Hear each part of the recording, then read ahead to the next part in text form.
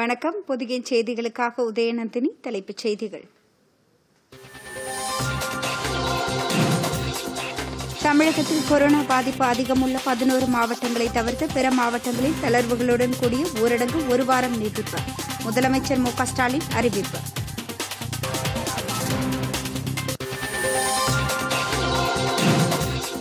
தமிழகத்தில் காய்கறி பழக்கடைகள் மளிகை கடைகள் காலை ஆறு மணி முதல் மாலை ஐந்து மணி வரை செயல்பட அனுமதி.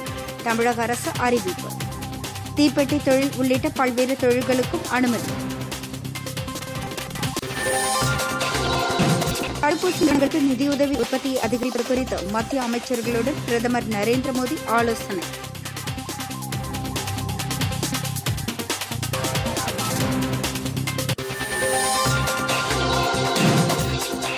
உலக சுற்றுச்சூழல் தினம் இன்று கடைபிடிப்பு. புதுதில்லியில் நடைபெறும் நிகழ்ச்சியில் பிரதமர் நரேந்திர மோடி பங்கேற்பு.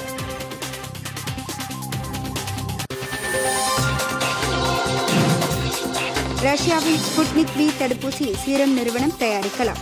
இந்திய மருந்து கட்டுப்பாட்டு அமைப்பு அனுமதி.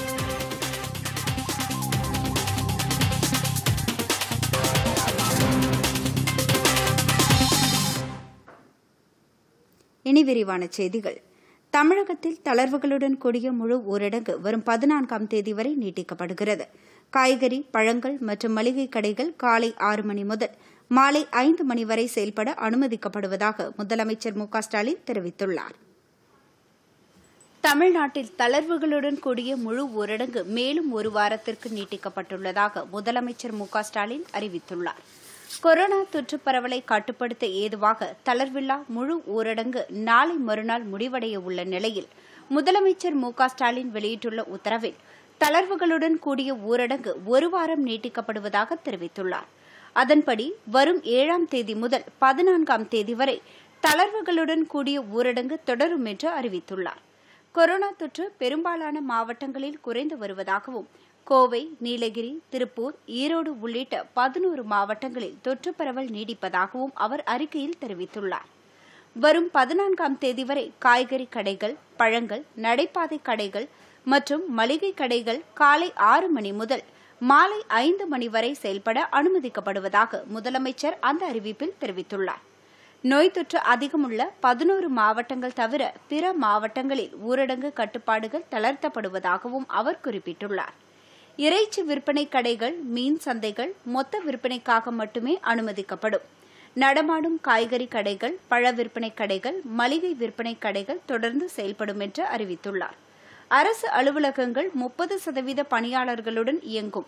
சார் பதிவாளர் அலுவலகங்களில் தினமும் ஐம்பது டோக்கன்கள் வழங்கப்பட்டு பணிகள் நடைபெறும். மின் பணியாளர் பிளம்பர்கள் தச்சர் போன்ற சுயதொழில் செய்பவர்கள் காலை ஆறு மணி முதல் மாலை ஐந்து மணி வரை பணிபுரிய அனுமதி அளிக்கப்படுகிறது. தீப்பெட்டி தொழிற்சாலைகள் ஐம்பது சதவீத பணியாளர்களுக்கு அனுமதிக்கிறது. மிதிவண்டி இருசக்கர வாகனங்கள் பழுது நீக்கம் கடைகள் உட்பட அனுமதி அளிக்கப்பட்டுள்ளதாக முதலமைச்சர் உள்ளிட்ட அறிக்கையில் தெரிவிக்கப்பட்டுள்ளது. நாடு முழுவதும் தடுப்பூசி திட்டம் மேற்கொள்ளப்படுவதன் முன்னேற்றம் குறித்து பிரதமர் நரேந்திர மோடி நேற்று உயர்நிலைக் குழுவுடன் காணொலி மூலம் ஆலோசனை நடத்தினாா் அப்போது நாட்டின் அனைத்து பகுதிகளிலும் தடுப்பூசி போடும் திட்டம் தொடர்பாக விரிவான விளக்கத்தை பிரதமருக்கு அதிகாரிகள் அளித்தனர். இந்தியாவில் தற்போது கையிருப்பில் உள்ள தடுப்பூசி மற்றும் உற்பத்தியை அதிகரிப்பதற்கான நடவடிக்கைகள் குறித்து இந்த ஆலோசனையின்போது பிரதமரிடம் எடுத்துரைக்கப்பட்டது. தடுப்பூசி உற்பத்தி நிறுவனங்கள் தங்களின் தயாரிப்பை அதிகரிப்பதற்கு அரசின் உதவிகள் குறித்தும் பிரதமரிடம் அதிகாரிகள் தெரிவித்தனர்.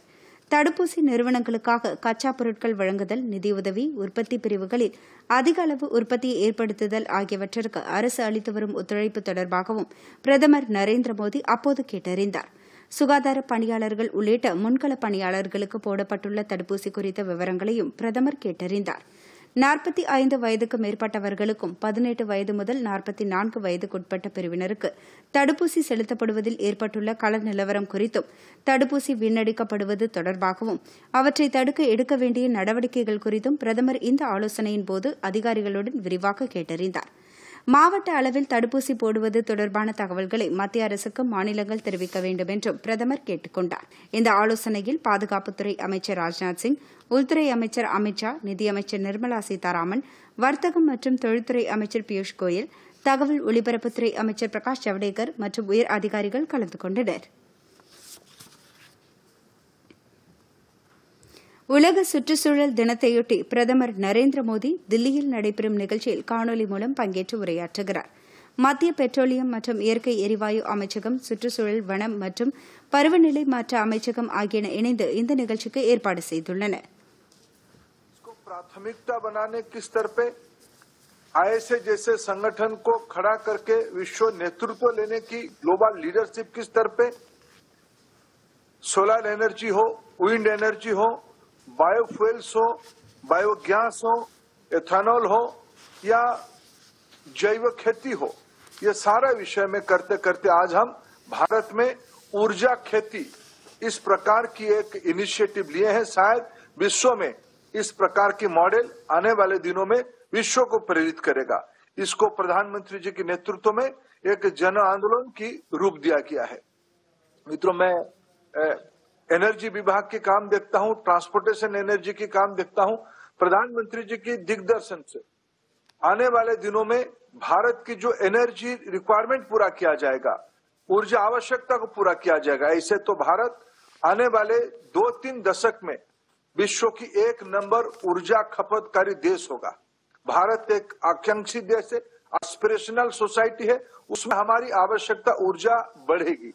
उसमें प्रधानमंत्री जी की कुशल नेतृत्व और मार्गदर्शन में हमने ऊर्जा आवश्यकता को बायोडाइवर्सिटी से कैसे निकालना जिसमें हमारी देश की अर्थनीति पे, पर्यावरण नीति पे, रोज़गार पे, किसानों की आमदनी को दुगनी कर, हमारी खेती को सुरक्षित करने में ऐसे एक इनोवेटिव तरीके से जो आज इमेजिन करिए करिए, ये सारा विषय पिछले सात साल में हम एक एक कदम करके हम आगे लेके जा रहे हैं।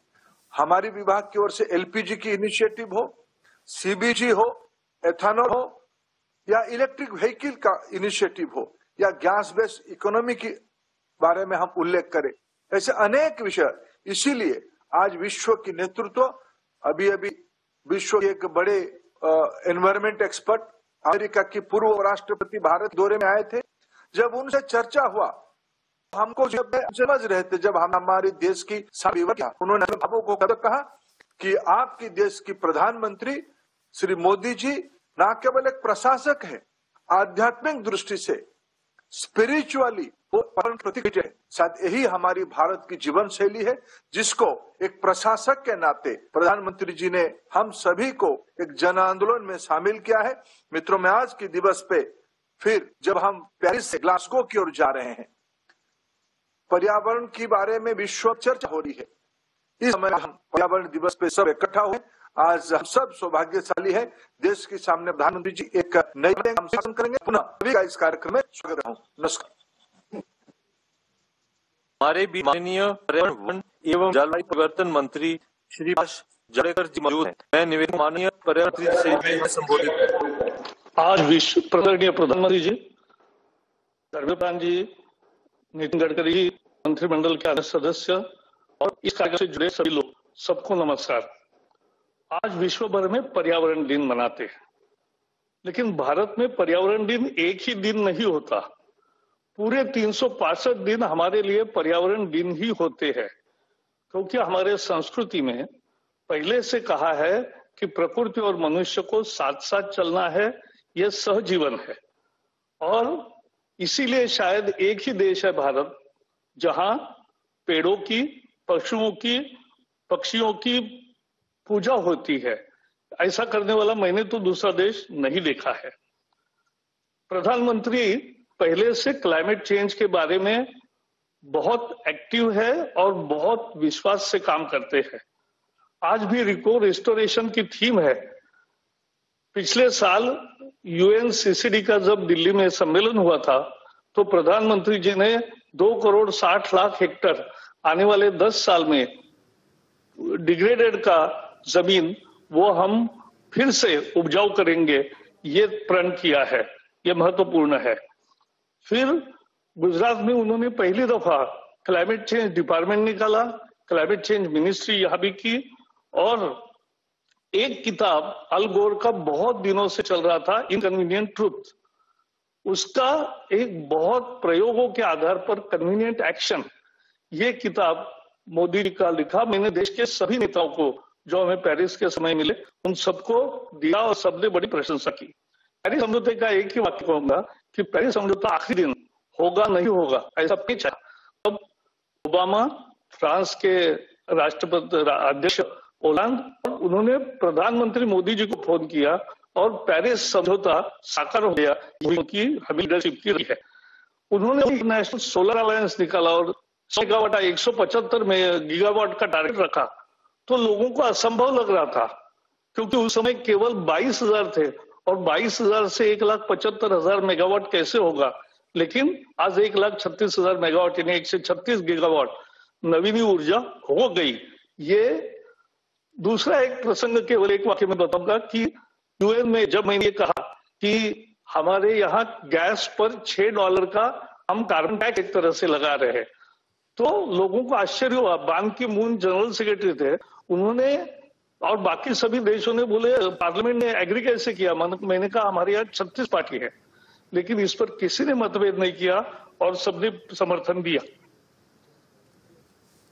ஆர்எஸ்எஸ் அமைப்பின் இரண்டாவது தலைவரான மாதவராவ் சதாசிவராவ் கோல்வால்கரின் நினைவு தினத்தையொட்டி உள்துறை அமைச்சர் அமித்ஷா மரியாதை செலுத்தியுள்ளார்.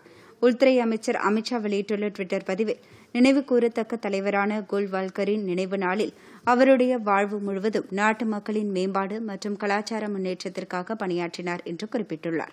நாட்டிற்கு சேவையாற்ற வேண்டும் என்று இளைஞர்களிடையே உத்வேகத்தை ஏற்படுத்தியவர் கோல்வால்கர் என்றும் நாட்டின் அனைத்து பகுதிகளிலும் அவரை போற்றும் வகையில் இளைஞர்கள் செயல்பட்டு வருவதாகவும் இந்த நாளில் அவருக்கு நாடு மரியாதை செலுத்துவதாகவும் அமித்ஷா தமது டுவிட்டர் செய்தியில் கூறியுள்ளார். இந்திய கடற்படையின் நாற்பத்தி மூன்றாயிரம் கோடி ரூபாய் செலவிலான ஆறு நீர்மூழ்கி கப்பல் கட்டும் தளத்திற்கு பாதுகாப்புத்துறையின் கையகப்படுத்துவதற்கான குழு ஒப்புதல் அளித்துள்ளது. பாதுகாப்புத்துறை அமைச்சர் ராஜ்நாத் சிங் தலைமையில் நடைபெற்ற ஏடி டிஏசி குழு கூட்டத்தில் இந்த ஒப்புதல் அளிக்கப்பட்டது. குறிப்பிடத்தக்க பங்களிப்பு திட்டத்தின் முதல் கட்டமாக இந்த ஒப்புதல் அளிக்கப்பட்டுள்ளதாக மத்திய அரசின் தகவல்கள் தெரிவிக்கின்றன. இந்தியாவில் தயாரிப்போம் திட்டத்தின் கீழ் மிகப்பெரிய திட்டமாகவும் நாட்டின் சுற்றுச்சூழல் தொழில் கட்டுமான திட்டத்தின் ஒரு பகுதியாகவும் இந்த ஒப்புதல் அளிக்கப்பட்டுள்ளது. இதன் மூலம் மத்திய அரசின் முப்பது ஆண்டுகால நீர்மூழ்கிய கப்பல் கட்டும் கனவு திட்டம் நிறைவேறியுள்ளதாக மத்திய அரசு தெரிவித்துள்ளது. அதிநவீன தொழில்நுட்பங்களின் உதவியுடன் மேம்பட்ட உற்பத்தி மூலம் இந்த நீர்மூழ்கி கப்பல் வடிவமைக்கப்பட உள்ளன கொரோனா தடுப்பூசி தொடர்பாக வதந்திகளை பரப்புவோர் மக்களின் உடல்நலத்திற்கு மட்டுமல்லாது நாட்டிற்கே எதிரியாக செயல்படுபவர்கள் என்று பிஜேபி மூத்த தலைவரும் மத்திய அமைச்சருமான முக்தார் அப்பாஸ் நக்வி தெரிவித்துள்ளார். உத்தரப்பிரதேச மாநிலம் ராம்பூரில் பிஜேபி தொண்டர்களிடையே பேசிய அவர் கொரோனா பரவல் சூழலில் மக்களிடையே நம்பிக்கை ஏற்படுத்துவதுதான் முக்கியம் என்று கூறினார். ஆனால் சில அரசியல் கட்சிகள் மக்கள் மத்தியில் குழப்பத்தை ஏற்படுத்த முயற்சித்ததாகவும் கொரோனா தடுப்பூசி தொடர்பாக வதந்திகளை பரப்பியதாகவும் அவர் குறிப்பிட்டார். இதுபோன்ற வதந்திகளை பரப்புவோர் தேசத்திற்கு எதிராக செயல்படுபவர்கள் என்றும் அவர் குறை கூறினார். மக்களின் பிரச்சினைக்கு தீர்வு காண உதவாமல் கொரோனா தொற்றையும் அரசியல் ரீதியில் ஆதாயம் தேட சில அரசியல் கட்சிகள் முயற்சி செய்ததாகவும் அமைச்சர் முக்தார் அப்பாஸ் நக்வி குறிப்பிட்டார். கருப்பு பூஞ்சை நோய்க்கான ஆம்போடெரிசின் பி மருந்தை ஒரு லட்சத்து இருபத்தி ஓராயிரம் குப்பிகள் கூடுதலாக மாநிலங்களுக்கு மத்திய அரசு ஒதுக்கீடு செய்துள்ளது. மத்திய ரசாயனம் மற்றும் உரத்துறை அமைச்சர் சதானந்த கவுடா வெளியிட்டுள்ள செய்தியில் மாநிலங்கள் மற்றும் யூனியன் பிரதேசங்களுக்கு மத்திய அரசு கூடுதலாக இந்த ஆம்போடெரிசின் பி மருந்தை வழங்கியிருப்பதாக தெரிவித்துள்ளார். கர்நாடக மாநிலத்திற்கு மட்டும் ஒன்பதாயிரத்து எழுநூற்று ஐம்பது குப்பிகள் வழங்கப்பட்டிருப்பதாகவும் இதுவரை இருபத்தி இரண்டாயிரத்து நானூற்று அறுபது ஆம்போடெரிசின் பி குப்பிகள் வழங்கப்பட்டுள்ளதாகவும் அவர் தெரிவித்தார். ரஷ்யாவின் ஸ்புட்னிக் வி கொரோனா தடுப்பூசியை தயாரிக்க புனேயின் சீரம் நிறுவனத்திற்கு இந்திய மருந்து கட்டுப்பாட்டு அமைப்பு அனுமதி அளித்துள்ளது. தற்போது சீரம் நிறுவனம் அஸ்ட்ராஜெனகா நிறுவனத்தின் கோவிஷீல்டு தடுப்பூசியை தயாரித்து விநியோகித்து வருகிறது. மேலும் ரஷ்யாவின் ஸ்புட்னிக் தடுப்பூசியை தயாரிக்க அனுமதிக்குமாறு இந்திய மருந்து கட்டுப்பாட்டு அமைப்பிடம் கடந்த சில தினங்களுக்கு முன்பு சீரம் நிறுவனம் விண்ணப்பித்திருந்தது. தற்போது மத்திய அரசு அதற்கு அனுமதி அளித்திருப்பதாக தகவல்கள் தெரிவிக்கின்றன. இந்தியாவில் சீரம் நிறுவனம் உற்பத்தி செய்யும் ஸ்புட்னிக் வி தடுப்பூசி அதன் ஆய்வகத்தில் பரிசோதனை மற்றும் ஆய்வு செய்வதற்கு சில நிபந்தனைகளுடன் அனுமதி அளித்திருப்பதாக தகவல்கள் தெரிவிக்கின்றன. சிறிய இடைவேளைக்கு பிறகு செய்திகள் தொடரும். நமது புதுகையில்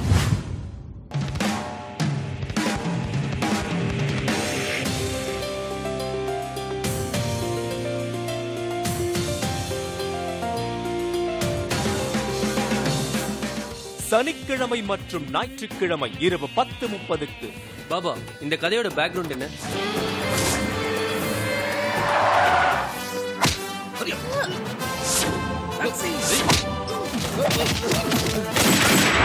சார் உங்களை அசாசினேட் பண்ண ஒரு ஹெட் டீம் சிட்டில இறங்கிட்டாங்க. இஸ் இட் சோ சீரியஸ் ஒரு பர்சனல் ரவுண்ட்ல போலாம்னு இருக்கேன். டோனி சொல்லு. ரஞ்சித்தும் அவங்க ஆளுங்களும் உனக்காக வெயிட் பண்றாங்க. அவனை தொலைச்சிருவோம். வேற்றுமையில் ஒற்றுமை என்ற சொல்லுக்கே உதாரணமாக வாழும் இந்த ஐந்து பேர் வாழ்க்கையில் நடக்கும் சில சம்பவங்கள் தான் எங்கள் எமர்ஜென்சி ஆக்ஷன்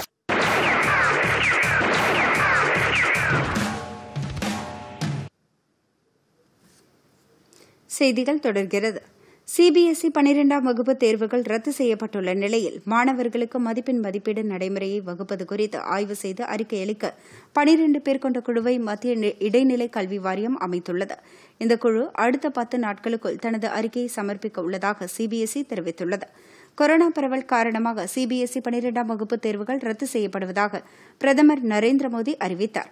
இதற்கிடையே தேர்வு தொடர்பான வழக்கில் உச்சநீதிமன்றத்தில் பதிலளித்த மத்திய அரசு இரண்டு வாரங்களில் மதிப்பெண் நடைமுறைகள் குறித்து தெரிவிக்கப்படும் என கூறியிருந்தது.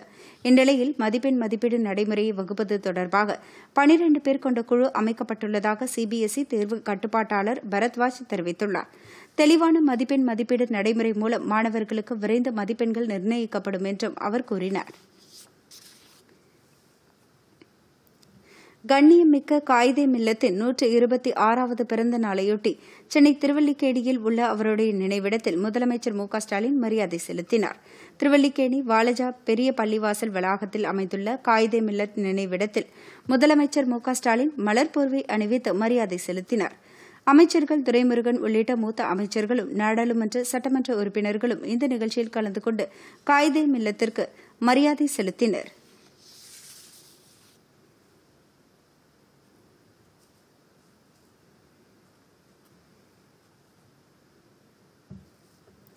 வட அமெரிக்க தமிழ்ச்சங்க பேரவை அமெரிக்க வாழ் தமிழ் மக்கள் இணைந்து முதலமைச்சர் மு க ஸ்டாலினிடம் முதலமைச்சரின் பொது நிவாரண நிதிக்காக மூன்று கோடி ரூபாய் நிதி வழங்கினர். இதற்காக நேற்று நடைபெற்ற காணொலி வாயிலான நிகழ்வில் அமெரிக்க வாழ் தமிழர்கள் ஒருங்கிணைப்பாளர் ராஜன் நடராஜன் பாலா சுவாமிநாதன் கால்ட்வேல் வேல்நம்பி உள்ளிட்டோர் கலந்து கொண்டனர். இந்த நிகழ்ச்சியில் பேசிய முதலமைச்சர் மு ஸ்டாலின் கொரோனா தொற்று காரணமாக ஏற்பட்டுள்ள நெருக்கடியை சமாளிக்க அமெரிக்க வாழ் தமிழர்களின் பங்களிப்பிற்கு நன்றி தெரிவித்துக் கொள்வதாக கூறினார். அமெரிக்க மக்கள் அளித்துள்ள நிதி தமிழக மக்களை வாழ வைக்கும் என்றும் அவர் கூறினார். கொரோனா தொற்றை கட்டுப்படுத்துவதற்கான ஆலோசனை வழங்குவதற்காக ஓய்வு பெற்ற ஐஏஎஸ் அதிகாரி பொருணலிங்கம் தலைமையிலான செயல்திட்டம் குழு ஒன்றை முதலமைச்சர் மு ஸ்டாலின் அமைத்துள்ளார். தமிழகத்தில் கொரோனா தொற்றின் இரண்டாம் அலை பாதிப்பு தீவிரமாகியுள்ள நிலையில் அதனை கட்டுப்படுத்த மாநில அரசு பல்வேறு நடவடிக்கைகளை எடுத்து வருகிறது. முதலமைச்சர் தலைமையில் நிபுணர் குழு அமைக்கப்பட்டு ஏற்கனவே செயல்பட்டு வருகிறது. இந்த குழுவுக்கு ஆலோசனைக்காக செயல்குழு அமைக்கப்படும் என அறிவிக்கப்பட்டதைத் தொடர்ந்து தற்போது பொருணலிங்கம் தலைமையில் குழு அமைக்கப்பட்டுள்ளதாக அரசு செய்திக்குறிப்பு தெரிவிக்கிறது. இந்த குழுவில் தொற்றுநோய் சிறப்பு சிகிச்சை நிபுணர் டாக்டர் குகானந்தம் பொது சுகாதாரத்துறை முன்னாள் இயக்குநர் டாக்டர் குழந்தைசாமி தேசிய நோய் பரவியல் ஆராய்ச்சி நிறுவனத்தின் சென்னை இயக்குநர் டாக்டர் மனோஜ் முர்ஹேகர் வேலூர் சிஎம்சி மருத்துவமனை நோய் பரவியல் நிபுணர் ஜெயபிரகாஷ் ஆகியோர் அலுவல் சாரா உறுப்பினர்களாக இடம்பெற்றுள்ளனர். இவர்கள் தவிர மாநில மக்கள் நல்வாழ்வுத்துறை முதன்மை செயலாளர் துறையின் சிறப்பு அதிகாரி மருத்துவ கல்வி இயக்குநர் மருத்துவ சேவைகள் இயக்குநர் பொது சுகாதாரத்துறை இயக்குநர் தேசிய சுகாதாரத்துறை இயக்குநர் உள்ளிட்டோர் இடம்பெற்றிருந்ததாக அந்த தகவல் தெரிவிக்கிறது. தொடர்வது விரைவுச் செய்திகள்.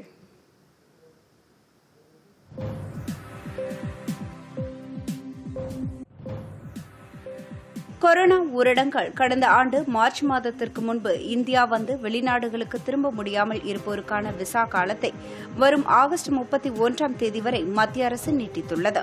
கொரோனா பாதிப்பால் நாடு முழுவதும் கடந்த ஆண்டும் தற்போதும் ஊரடங்கு அமல்படுத்தப்பட்டது.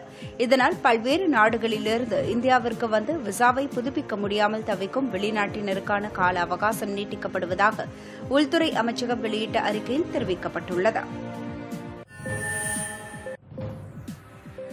மொரிஷியஸ் நாட்டின் முன்னாள் அதிபர் மற்றும் பிரதமர் ஜக்நாத் உயிரிழந்ததைத் தொடர்ந்து இந்தியாவில் இன்று ஒருநாள் அரசுமுறை துக்கம் அனுசரிக்கப்படுகிறது. அதன்படி நாடு முழுவதும் இன்று தேசிய கொடிகள் அரைக்கம்பத்தில் பறக்கும் என்று மத்திய அரசு தெரிவித்துள்ளது. ஜக்நாத் நேற்று முன்தினம் உயிரிழந்தார் என்பது குறிப்பிடத்தக்கது. விருதுநகர் மாவட்டம் திருச்சுழி தொகுதியில் திமுக சார்பில் எழுபதாயிரம் குடும்பங்களுக்கு அரிசி மளிகை பொருட்கள் வழங்கும் பணியை மாநில தொழில்துறை அமைச்சர் தங்கம் தென்னரசு துவக்கி வைத்தார். காரியப்பட்டி பகுதியில் நடைபெற்ற நிகழ்ச்சியில் பங்கேற்ற அமைச்சர் உணவுப் பொருள் அடங்கிய தொகுப்பை பொதுமக்களுக்கு வழங்கினார். கொரோனா விதிமுறைகளை கடைபிடித்து தனிமனித இடைவெளியுடன் முகக்கவசம் அணிந்து பொதுமக்கள் நிவாரணப் பொருட்களை பெற்றுக் கொண்டனா் தமிழகத்தில் பதினேழு மாவட்டங்களில் கொரோனா தொற்றின் தாக்கம் குறைந்துள்ளதாக மாநில மருத்துவம் மற்றும் மக்கள் நல்வாழ்வுத்துறை முதன்மைச் செயலாளர் ராதாகிருஷ்ணன் தெரிவித்துள்ளார். சேலத்தில் இன்று அரசு மோகன் குமாரமங்கலம் மருத்துவமனையில் ஆய்வு மேற்கொண்ட பின் செய்தியாளர்களிடம் பேசிய அவர் பதினோரு மாவட்டங்களில் தொற்று இன்னும் குறையவில்லை என்றும் தொடர்ந்து உன்னிப்பாக கவனித்து வருவதாகவும் தெரிவித்தார். தனியார் மருத்துவமனைகள் மனசாட்சியுடன் நடந்து கொள்ள வேண்டும் என கேட்டுக்கொண்ட ராதாகிருஷ்ணன் கொரோனா நோயாளிகளிடம் கூடுதல் கட்டணம் வசூலித்தால் கடும் நடவடிக்கை எடுக்கப்படும் என எச்சரித்தார். மயிலாடுதுறை அருகே மது குடித்து கண் பார்வை இழந்த இருவர் தொடர்பான விசாரணையில் கெமிக்கல் கலந்த திரவ பொருளில் சாராயம் தயாரித்து குடித்ததால் விபரீதம் நிகழ்ந்தது தெரியவந்துள்ளது. இங்குள்ள மணக்குடி பகுதியில் ஆறு பேர் கள்ளச்சாராயம் குடித்ததில் இரண்டு பேர் உயிரிழந்தனர். இந்த சம்பவம் தொடர்பாக பிரபு என்பவர் கைது செய்யப்பட்டார்.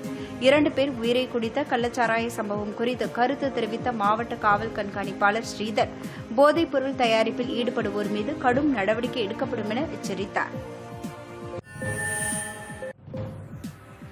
தேனி மஞ்சளாறு அணையின் நீர்மட்டம் ஐம்பத்தி ஐந்து அடியாக உயர்ந்ததால் மூன்றாம் கட்ட வெள்ள அபாய எச்சரிக்கை விடப்பட்டுள்ளது. கடந்த இருபது நாட்களுக்கு மேலாக இப்பகுதியில் மழை பெய்து வருவதால் அணையின் நீர்மட்டம் முழு கொள்ளளவான ஐம்பத்தி ஏழு அடியை நெருங்கி வருகிறது. இறுதிக்கட்ட வெள்ள அபாய எச்சரிக்கை விடப்பட்டுள்ளதால் கரையோரங்களில் வசிக்கும் பொதுமக்கள் பாதுகாப்பான பகுதிகளுக்கு செல்லுமாறு அறிவுறுத்தப்பட்டுள்ளனா்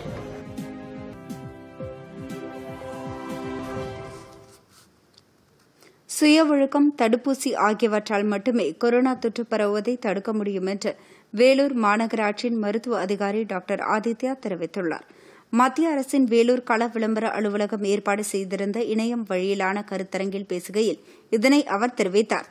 கொரோனா தொற்று செய்ய வேண்டியதும் செய்யக்கூடாததும் என்ற தலைப்பில் நடைபெற்ற இந்த கருத்தரங்கில் பேசிய அவர் போதிய விழிப்புணர்வு இல்லாமல் கொரோனா தொற்றால் பொதுமக்கள் உயிரிழக்க வேண்டிய நிலை ஏற்பட்டுள்ளது என்று கூறினார்.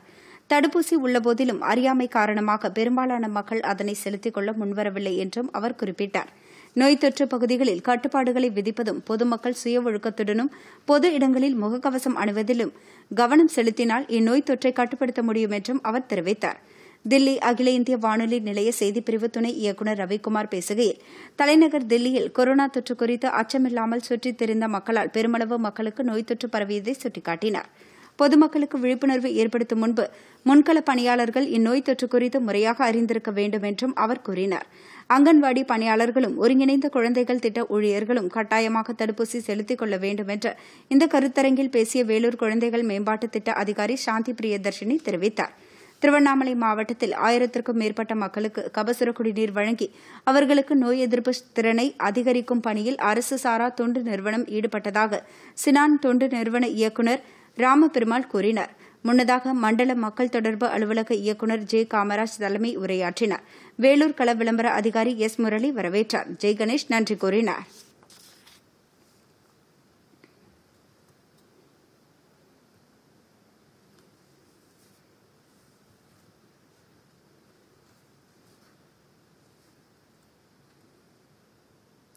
கொரோனா தொற்றிலிருந்து குணமடைந்தவர்கள் ஏதேனும் உடல்நல பாதிப்புகள் தென்பட்டால் உடனடியாக மருத்துவரை அணுகுவதன் மூலம் கருப்பு பூஞ்சை நோய் பரவலை தடுக்க முடியும் என்று வாய் மற்றும் முகச்சீரமைப்பு அறுவை சிகிச்சை நிபுணர் சந்தோஷ்குமார் தெரிவித்துள்ளார். மத்திய அரசின் தகவல் ஒலிபரப்பு அமைச்சகத்தின் கீழ் இயங்கும் தஞ்சாவூர் மக்கள் தொடர்பு கள அலுவலகம் சார்பில் கொரோனா தொற்று கருப்பு பூஞ்சை நோய் பரவல் குறித்த காணொலி கருத்தரங்கு நடைபெற்றது. இதில் கலந்து கொண்டு பேசிய டாக்டர் சந்தோஷ்குமார் அதிக அளவு ஸ்டீராய்டு மருந்துகள் மற்றும் செயற்கை முறையில் தயாரிக்கப்பட்ட ஆக்ஸிஜனை அதிக அளவில் பயன்படுத்துவதால் கருப்பு பூஞ்சை தொற்று ஏற்படுவதாக கூறினார். முகத்தில் வீக்கம் மூக்கிலிருந்து ரத்தம் வடிதல் முகத்தில் அழுத்தும் போது ஏற்படும் வலி அரிப்பு போன்ற அறிகுறிகள் இருந்தால் கருப்பு பூஞ்சை தொற்று ஏற்பட வாய்ப்புள்ளது என்றும் இதற்கு ஆரம்பத்திலேயே மருத்துவரை அணுகி சிகிச்சை எடுத்துக் கொண்டால் மூக்கு வாய் பல் போன்ற உறுப்புகளை பாதுகாத்துக் கொள்ளலாம் என்றும் அவர் கூறினார். நிகழ்ச்சியில் தலைமையுரையாற்றிய மண்டல மக்கள் தொடர்பு இயக்குநர் ஜே காமராஜ் கொரோனா நோய் தொற்று குறித்த விழிப்புணர்வு இல்லாமையே இது சங்கிலி தொடராக பரவ காரணம் என்று கூறினார். இரண்டாவது அலைக்கு முன்பே நமக்கு கிடைத்த ஒரே பாதுகாப்பு கவசம் தடுப்பூசி என்றும் அது குறித்த அவசியத்தை மக்கள் உணராமல் இருந்ததே இந்த தொற்று மீண்டும் பேரலையாக எழுவதற்கு காரணமாகிவிட்டது என்றும் அவர் தெரிவித்தார். எனவே அனைவரும் தயங்காமல் தடுப்பூசியை போட்டுக்கொள்ள வேண்டும் என்றும் அதுதான் இப்போதைக்கு தீர்வு என்றும் குறிப்பிட்டார். நிகழ்ச்சியில் தஞ்சாவூர் மக்கள் தொடர்பு கள விளம்பர அலுவலர் கே. ஆனந்த் பிரபு வரவேற்புரையாற்றினார். இந்த கருத்தரங்கில் அங்கன்வாடி பணியாளர்கள் மாணவர்கள் மருத்துவ பணியாளர்கள் உள்ளிட்ட பலர் கலந்து கொண்டனர். நாடு முழுவதும் கொரோனா தொற்றால் பாதிக்கப்படுபவர்களை விட குணமடைவோரின் எண்ணிக்கை தொடர்ந்து அதிகரித்து வருகிறது. கொரோனாவில் இருந்து குணமடைவோர் விகிதம் தொன்னூற்று மூன்று புள்ளி எட்டு சதவீதமாக அதிகரித்துள்ளதாக மத்திய சுகாதார அமைச்சகம் தெரிவித்துள்ளது. நாட்டில் கொரோனா தினசரி பாதிப்பு ஆறுதல் அளிக்கும் வகையில் படிப்படியாக குறைந்து வருகிறது. கடந்த இருபத்தி நான்கு மணி நேரத்தில் ஒரு லட்சத்து இருபதாயிரத்து ஐநூற்று இருபத்தி ஒன்பது பேருக்கு தொற்று உறுதி செய்யப்பட்டுள்ளது. நேற்று ஒரே நாளில் ஒரு லட்சத்து தொன்னூற்று ஏழாயிரத்து எண்ணூற்று தொன்னூற்று நான்கு பேர் குணமடைந்துள்ளனர். மூன்றாயிரத்து முன்னூற்று எண்பது பேர் உயிரிழந்துள்ளனர். நாடு முழுவதும் பதினைந்து லட்சத்து ஐம்பத்தி ஐந்தாயிரத்து இருநூற்று நாற்பத்தி எட்டு பேர் கொரோனாவுக்கு சிகிச்சை பெற்று வருவதாக மத்திய சுகாதார அமைச்சகம் தெரிவித்துள்ளது. தமிழகத்தில் நேற்று ஒரே நாளில் இருபத்தி இரண்டாயிரத்து அறுநூற்று ஐம்பத்தி ஒரு பேருக்கு கொரோனா தொற்று உறுதி செய்யப்பட்டுள்ளது. தொடர்ந்து பதினான்காவது நாளாக நோய் தொற்றால் பாதிக்கப்பட்டோர் எண்ணிக்கை குறைந்துள்ளது. கோவையில் அதிகபட்சமாக இரண்டாயிரத்து எண்ணூற்று பத்து பேரும் சென்னையில் ஆயிரத்து தொள்ளாயிரத்து எழுபத்தி ஓரு பேரும் தொற்றினால் பாதிக்கப்பட்டுள்ளனர். கொரோனா பாதிப்பிலிருந்து ஒரே நாளில் முப்பத்தி மூன்றாயிரத்து அறுநூற்று நாற்பத்தி ஆறு பேர் குணமடைந்துள்ளதாகவும் நானூற்று அறுபத்தி மூன்று பேர் உயிரிழந்துள்ளதாகவும் மாநில மருத்துவம் மற்றும் மக்கள் நல்வாழ்வுத்துறை வெளியிட்டுள்ள அறிக்கையில் குறிப்பிடப்பட்டுள்ளது. மாநிலம் முழுவதும் இரண்டு லட்சத்து அறுபத்தி எட்டாயிரத்து தொள்ளாயிரத்து அறுபத்தி எட்டு பேர் மருத்துவமனைகளில் சிகிச்சை பெற்று வருகின்றனர். உலகம் முழுவதும் பதினேழு கோடியே முப்பத்தி மூன்று லட்சத்து இருபத்தி எட்டாயிரத்து தொள்ளாயிரத்து முப்பத்தி நான்கு பேர் கொரோனா தொற்றினால் பாதிக்கப்பட்டுள்ளனர். முப்பத்தி ஏழு லட்சத்து இருபத்தி ஏழாயிரத்து அறுநூற்று ஐம்பத்தி ஏழு பேர் உயிரிழந்துள்ளனர். இதுவரை பதினைந்து கோடியே அறுபது லட்சத்து எழுபத்தி ஐந்தாயிரத்து நானூற்று ஒரு பேர் குணமடைந்துள்ளனர். நேபாளத்தில் இடைக்கால பிரதமர் கே பி சர்மா ஒலி தமது அமைச்சரவையில் பனிரண்டு புதிய முகங்களுக்கு இடமளித்துள்ளார். நேபாள அமைச்சரவை தற்போது மாற்றி அமைக்கப்பட்டுள்ளது. இதன்படி புதிய அமைச்சரவையில் மூன்று துணை பிரதமர்கள் பனிரண்டு கேபினெட் அமைச்சர்கள் இரண்டு இணையமைச்சர்கள் இடம்பெற்றுள்ளனர். அதிபர் மாளிகையில் நேற்று மாலை நடைபெற்ற எளிய நிகழ்ச்சியில் பதவி பிரமாணமும் ரகசிய காப்பு பிரமாணமும் எடுத்துக் கொண்டனா் நேபாளத்தில் அண்மையில் நிகழ்ந்த அரசியல் மாற்றத்தை தொடர்ந்து அந்நாட்டின் நாடாளுமன்றம் கலைக்கப்பட்டு இடைக்கால பிரதமராக கே பி சர்மா ஒலி பதவி வகித்து வருகிறார். தமது அமைச்சரவையில் இடம்பெற்றிருந்த பதிமூன்று பேரை நீக்கிவிட்டு பனிரண்டு புது முகங்களுக்கு வாய்ப்பளித்துள்ளார். நேபாளத்தில் வருகிற நவம்பர் மாதம் பொதுத் தேர்தல் நடத்தப்படும் என ஏற்கனவே அறிவிக்கப்பட்டுள்ளது. உலக டெஸ்ட் கிரிக்கெட் சாம்பியன்ஷிப் இறுதிப் போட்டியில் பங்கேற்பதற்காக இந்திய கிரிக்கெட் அணி இங்கிலாந்து சென்றுள்ளது. அந்நாட்டின் ஹாம்ஸ்பியர் நகரை சென்றடைந்த இந்திய வீரர் வீராங்கனைகள் கொரோனா விதிமுறைகளை பின்பற்றி தனிமை முகாம்களில் தங்க வைக்கப்பட்டுள்ளனர். ஆடவர் அணி வருகிற பதினெட்டாம் தேதி சவுதம்டன் நகரில் தொடங்கும் ஆட்டத்தில் நியூசிலாந்து அணியை எதிர்கொள்கிறது. இந்தியா இங்கிலாந்து அணிகளுக்கிடையே ஐந்து டெஸ்ட் போட்டிகளை கொண்ட தொடர் ஆகஸ்ட் நான்காம் தேதி தொடங்கி செப்டம்பர் பதினான்காம் தேதி வரை நடைபெறுகிறது. இந்திய மகளிர் கிரிக்கெட் அணி பிரிஸ்டல் நகரில் நடைபெறும் போட்டியில் இங்கிலாந்து அணியை எதிர்கொள்கிறது.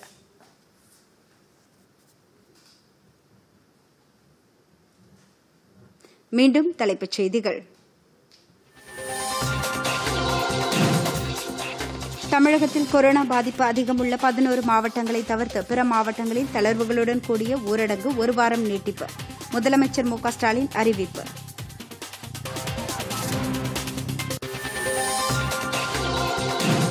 தமிழகத்தில் காய்கறி பழக்கடைகள் மளிகை கடைகள் காலை ஆறு மணி முதல் மாலை ஐந்து மணி வரை செயல்பட அனுமதி. தமிழக அரசு அறிவிப்பு. தீப்பெட்டி தொழில் உள்ளிட்ட பல்வேறு தொழில்களுக்கும் அனுமதி.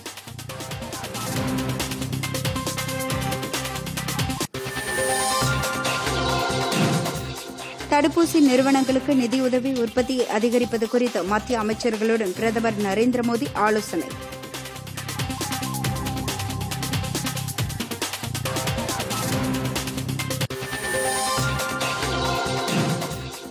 உலக சுற்றுச்சூழல் தினம் இன்று கடைபிடிப்பு. புதுதில்லியில் நடைபெறும் நிகழ்ச்சியில் பிரதமர் நரேந்திர மோடி பங்கேற்பார்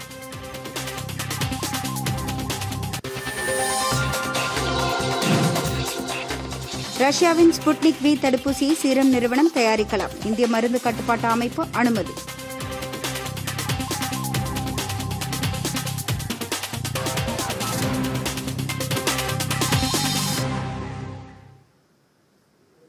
இத்துடன் இந்த செய்தி அறிக்கை நிறைவு பெறுகிறது. மீண்டும் செய்திகள் பிற்பகல் இரண்டு மணிக்கு. வணக்கம்.